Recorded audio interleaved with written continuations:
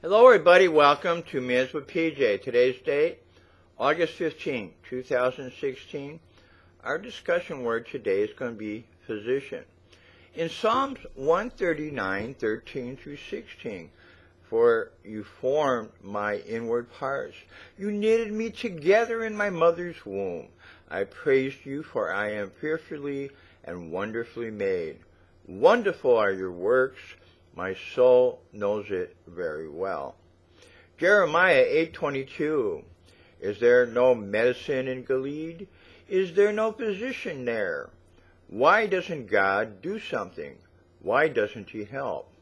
In Mark 2:17 and when Jesus heard it he said to them Those who are well have no need of a physician but those who are sick I came not to call the righteous but the sinners.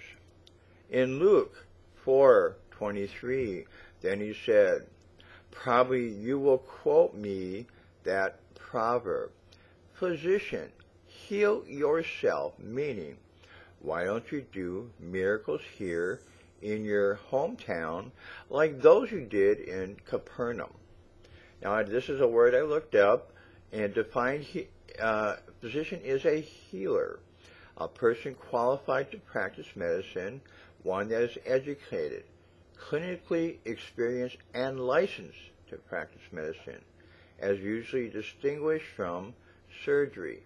Finally, a person who is legally qualified to practice medicine as a doctor of medicine.